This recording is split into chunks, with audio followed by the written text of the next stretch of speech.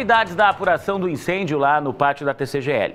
Lembra que ontem eu trouxe para você detalhes da coletiva dada pela perícia técnica que definiu que o incêndio foi causado por uma ação humana. Ou seja, não houve combustão espontânea, nada disso.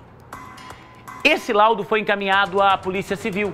E a apuração em torno da queima desses 56 ônibus passa agora por uma análise completa das câmeras de segurança para entender se alguém que não estava em serviço entrou. O que é que pode ter acontecido lá dentro? Esse é o primeiro vídeo ó, que se tem acesso do momento do incêndio. Sobe o som para mim, por favor. Meio-dia 41. Agora, agora há pouco aqui, ó. Olha lá, se liga. Se liga lá, tropa. O incêndio aconteceu no final de novembro, tá? E a polícia quer entender o que aconteceu minutos antes deste vídeo começar a ser feito. O que é que deu origem ao fogo? São imagens que tomaram conta do Brasil inteiro, tá? Os detalhes das investigações, o delegado responsável pelo inquérito falou com a imprensa. Meio-dia 42, enche a tela.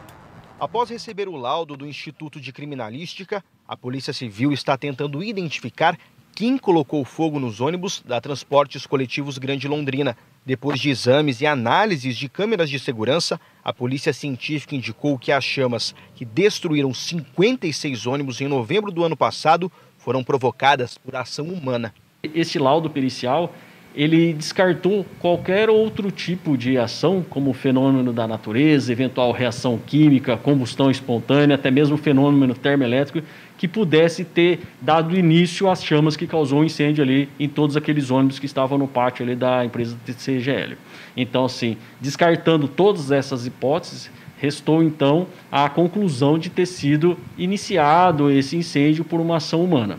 Resta agora a investigação, dar prosseguimento é, nessas diligências, no intuito de proceder à identificação da autoria, principalmente, e após, no segundo momento, eventual questão se esse incêndio de, ocorreu de forma intencional ou não. A ação humana já é caso de polícia, tanto se é acidental quanto se é intencional. A ação humana é caso de polícia porque coloca em risco o patrimônio e vidas de pessoas. Os registros das chamas foram no final da tarde, após as 5 e meia, se espalhando rapidamente.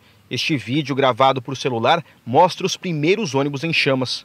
Olha o fogarelo aí, ó, na Grande Londrina aí, ó. Olha aí, na Grande Londrina aqui, ó, agora, agora há pouco aqui, ó.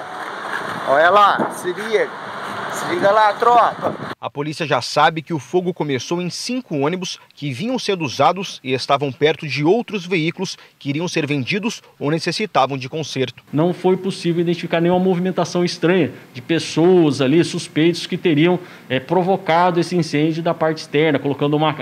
Trata-se de um muro bastante alto, com cerca elétrica. Não houve nenhuma movimentação estranha de um veículo parando, pessoa descendo, arremessando algo de fora para dentro. Então isso daí foi descartado. O laudo pericial examinou também registro de câmeras é, existentes, imagens captadas pelas câmeras existentes na parte interna de alguns ônibus que estavam estacionados à frente de onde ocorreu o incêndio. Não foi constatado nenhum tipo de edição, manipulação, coisa do tipo, bem como também não constatou nenhum tipo de movimentação estranha ali àquele ambiente. O delegado que cuida do caso já ouviu diversas pessoas que passaram pelo pátio da empresa no dia do incêndio. Como era um feriado, poucos trabalhadores circularam pelo lugar. Não estão descartados novos depoimentos nos próximos dias a partir do que foi descoberto com o laudo da criminalística.